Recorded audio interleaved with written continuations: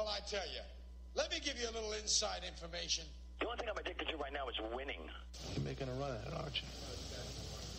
Rolling up a stake and going to Vegas. Just sit back and enjoy the show. He beats me. Straight up. Pay him. Pay that man his money. Live from Las Vegas, it is the Betting First Look with your host, Marco D'Angelo. It's Thursday, August 2nd. We're going to have a free comp winner for you in a moment. I'll also recap yesterday and take a look ahead at what we've got going on the card for Thursday. Let's start with the recap. Yesterday we gave you the Dodgers. It was a thriller. They got it done in extra innings yesterday. That brings the record to 18 and 8 here on the betting first look. All for free, and each and every one of those we gave you a breakdown on why we like the game. You get a mini handicapping lesson each and every day you tune in to the Betting First Look. On our premium service, well, guys, another winner there as well. As we had Tampa Bay as our insider game of the week. Tyler Glasnow pitched a good game. He only uh, went three in uh, change innings wise, but he pitched solid as Tampa Bay did their bullpen by committee approach yesterday as well. He got them off to a great start to an easy 7 2 win. We've got tonight a Grand Slam play. You can check that out over at wagertalk.com. Guys, we're having a great baseball season. If you've been following along all year, you know what we have been doing. Our record this season for baseball, we are now up for the season in baseball 68% for our clients in 2018.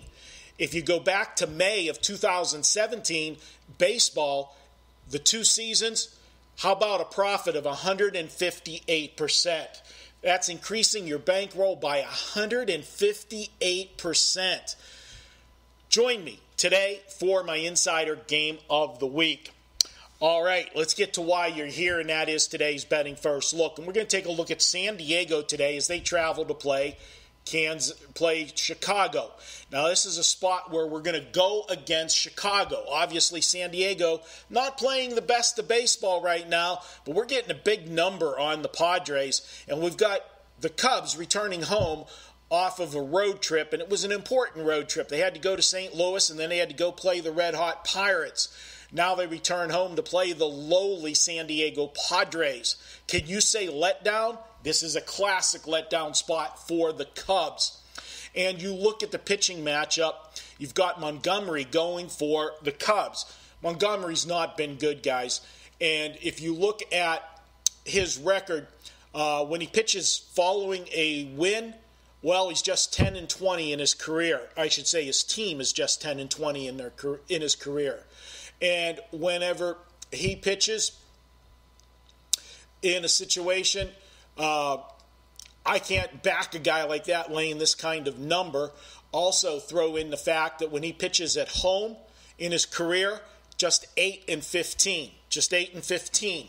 Those are not numbers to be laying a big price with. We're going to go ahead and take the Padres tonight as a huge underdog as the betting first look. I'm uh, going to go against Mike Montgomery tonight uh, in this one. And Montgomery's coming off his last outing at St. Louis, gave up five runs in five innings, uh, 12 hits in those five innings. Uh, not good. Uh, this is a guy who's got an ERA of 5.62 and a whip of 1.81 in his last three starts.